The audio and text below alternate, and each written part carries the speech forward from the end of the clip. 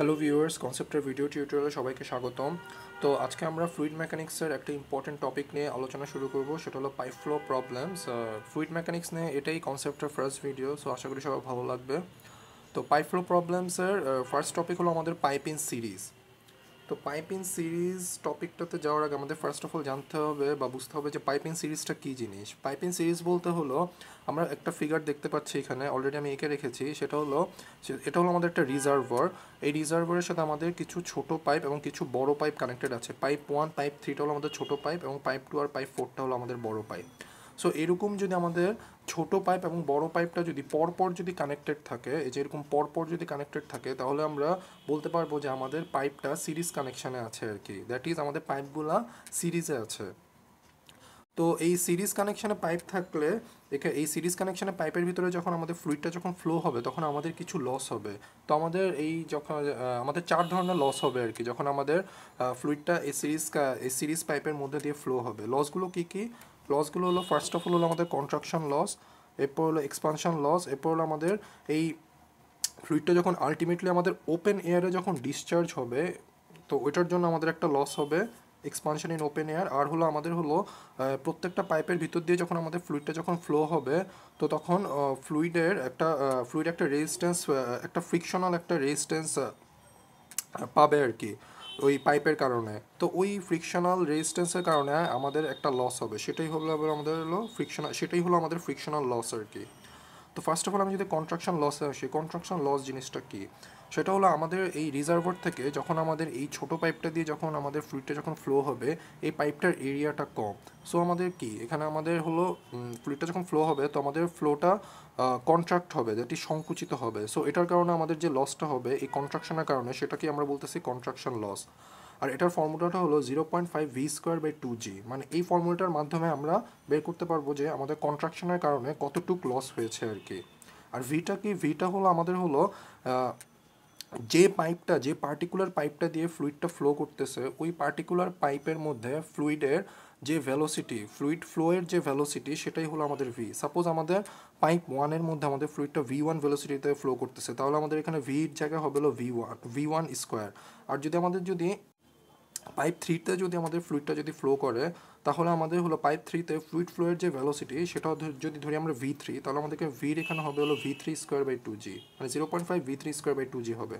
আর expansion loss হলো আমাদের যে এই ছোটো পাইপটা থেকে বড় পাইপটার মধ্যে সাপোজ এই পাইপ টুটা যেটা আমাদের বড় পাইপ এই পাইপটার মধ্যে দিয়ে যখন আমাদের ফ্লুইডটা যখন ফ্লো হবে তখন যে লসটা হবে, কারণ এই পাইপটা বড় সো আমাদের ফ্লোটা তখন এক্সপান্ড করতে পারবে আর কি দ্যাট ইজ প্রসারিত হবে আর কি। তো এই প্রসারণ, এই প্রসারিত হওয়ার কারণে আমাদের যে লসটা হবে, সেটা হলো আমাদের এক্সপানশন লস দ্যাট ইজ ছোটো পাইপ থেকে বড় পাইপের দিকে যখন ফ্লুইডটা যখন ফ্লো হবে, তখন আমাদের এক্সপানশন লস হবে। কারণ আমাদের এখানে এরিয়াটা বড় সো আমাদের ফ্লো ফ্লুইডটা আমাদের এক্সপান্ড করবে আর কি। সো এটার কারণে একটা লস হবে, সেটা হলো এক্সপানশন লস আর এক্সপানশন লসের ফর্মুলাটা হলো আমাদের smaller pipe velocity minus larger pipe velocity whole square by two G that is হলো আমাদের যে স্মলার পাইপ হলো, যে ছোট পাইপটা থেকে ফ্লুইডটা ফ্লো হয়ে বড় পাইপের দিকে যাচ্ছে, সেটা সেটা সেই পাইপটার মধ্যে যে ফ্লুইডের যে ভেলোসিটি সাপোজ ওয়ান থেকে যদি টু এর দিকে যদি ফ্লুইডটা যদি ফ্লো হয়, তাহলে স্মলার পাইপ হবে হলো ওয়ান আর লার্জার পাইপ হবে হলো এই পাইপ টুটা সো স্মলার পাইপের এই পাইপ ওয়ানের মধ্যে যে ভেলোসিটি সেটাকে আমরা স্মলার পাইপ ভেলোসিটি বলব, আর লার্জার পাইপের যে ভিতর যে ভেলোসিটি সেটাকে আমরা বলব লার্জার পাইপ ভেলোসিটি সো এই দুইটা পাইপের ভেলোসিটির যে ডিফারেন্স এটাকে আমরা হোল স্কোয়ার করে টু জি দিয়ে যদি ভাগ করে দিই, তাহলে আমরা এক্সপানশন লস পাবো। সিমিলারলি যদি আমাদের পাইপ থ্রি থেকে যদি পাইপ ফোরে যদি আমাদের ফ্লুইডটা যদি ফ্লো করে, তাহলে তখন আমরা এক্সপানশন লস কীভাবে বের করব? সেটা হবে হলো আমাদের V three minus V four whole square by two G that is smaller pipe velocity minus larger pipe velocity whole square by two G তো এভাবে আমাদের আগে বুঝতে হবে যে কোনটা আমাদের স্মলার পাইপ কোনটা আমাদের larger pipe so smaller pipe এবং লার্জার পাইপ যদি আইডেন্টিফাই করতে পারি, তাহলে আমরা খুব ইজিলি এক্সপানশন লস বের করতে পারব। এবং ফাইনালি আমাদের ফ্লুইডটা যখন ফ্লো হয়ে সিরিজ কানেকশান অফ পাইপের মধ্যে দিয়ে ফ্লো হয়ে যখন আলটিমেটলি ওপেন এয়ারে যখন ডিসচার্জ হবে, এই যে ফ্লুইডটা যখন আলটিমেটলি ওপেন এয়ারে যখন ডিসচার্জ হবে, তখন একটা লস হবে। সেটা আমরা কীভাবে বের করব? সেটা বের করার ফর্মুলা হলো zero point five V square by two G এখানে ভি কোনটা? সাপোজ এখানে আমাদের হলো পাইপ নাম্বার ফোর ফোরের মধ্যে ফ্লুইডটা ফ্লো হয়ে ওপেন এয়ারে ডিসচার্জ করছে।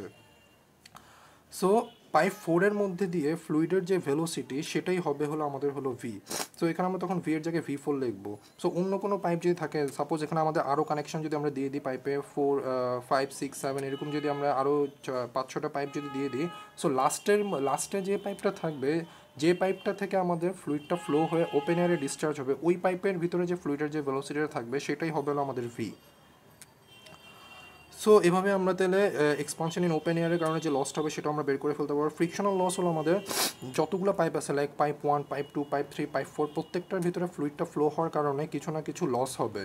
দ্যাট ইজ আমাদের একটা রেজিস্ট্যান্স ফিল করবে আমাদের ফ্লুইডটা সো ওই রেজিস্ট্যান্সের কারণে যে লসটা হবে সেটা হলো ফ্রিকশনাল লস সো এখানে আমরা যে ফর্মুলাটা দেখতে পাচ্ছি যে F into L by D V square by two G এফটা হলো আমাদের কোয়েশ্চেনেই গিভেন থাকবে।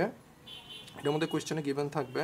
আর এলটা হলো সাপোজ আমরা যদি পাইপ ওয়ানের জন্য যদি আমরা ফ্রিকশন লস যদি বের করি, তাহলে পাইপ ওয়ানের যে লেন্থ সাপোজ পাইপ ওয়ানের লেন্থ যদি আমরা ফাইভ সেন্টিমিটার ধরি, তাহলে এলটা হবে হলো ফাইভ আর ডিটা হলো সাপোজ পাইপ ওয়ানের ডায় আমরা ধরলাম হলো টু সেন্টিমিটার তাহলে ডিটা হবে হলো টু দ্যাট ইজ মানে আমাদের যে পাইপের মধ্যে দিয়ে আমরা ফ্রিকশনাল লসটা বের করব, ওই পাইপের লেন্থ এবং ওই পার্টিকুলার পাইপের ডায়াটাই হবে হলো এল আর ডি এর ভ্যালু আর ভি তো এটার বলার অপেক্ষা রাখে না যে পাইপের আমরা ফ্রিকশন লস বের করতেছি, ওই পাইপের মধ্যে দিয়ে ফ্লুইড ফ্লোয়ের যে ভ্যালোসিটি ওই ভ্যালোসিটিটাই হবে হলো ভি সো আমরা যদি পাইপ টু এর ক্ষেত্রে যদি বের করি ফ্রিকশন লস তাহলে পাইপ টু এর যে লেন্থ এবং পাইপ টু এর যে ডায়া সেটাই হবে হলো এল আর ডির ভ্যালু ফর পাইপ টু এর জন্য। আর ভিটা হলো পাইপ টু এর মধ্যে দিয়ে যে ফ্লুইডটা ফ্লো করতেছে, সে সে ফ্লুইড ফ্লোয়ের যে ভ্যালোসিটি সেটাই হবে আমাদের ভি আর টু জি তো সবার জন্যই ফিক্সড এটা কনস্ট্যান্ট একটা ভ্যালু সো এভাবে আমরা তাহলে pipe one pipe two pipe three pipe four individual প্রত্যেকটা পাইপের জন্য আমরা ফ্রিকশন লস বের করে আমরা আলটিমেটলি টোটাল আমাদের কতটুক হেড লস হচ্ছে সেটা আমরা বের করে ফেলতে পারব যদি আমাদের ফ্লুইডটা যদি সিরিজ পাইপ কানেকশনের মধ্যে দিয়ে যদি ফ্লো করে। তো এতটুকুই। তো আমাদের এই চারটা ফর্মুলা মনে রাখতে হবে। আমাদের pipe in series pipe in মানে পাইপটা যদি সিরিজ কানেকশনে থাকে ওই প্রবলেমগুলো সলভ করার জন্য আর কি। তো আশা করি সবাই বুঝতে পেরেছেন। তো ভিডিওটি ভালো লাগলে আমাদের লাইক সাবস্ক্রাইব শেয়ার করতে ভুলবেন না এবং কনসেপ্টটার সাথেই থাকুন। ধন্যবাদ।